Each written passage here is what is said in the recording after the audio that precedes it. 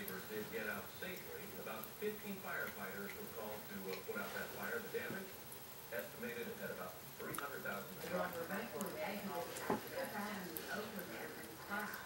We have arrested the driver.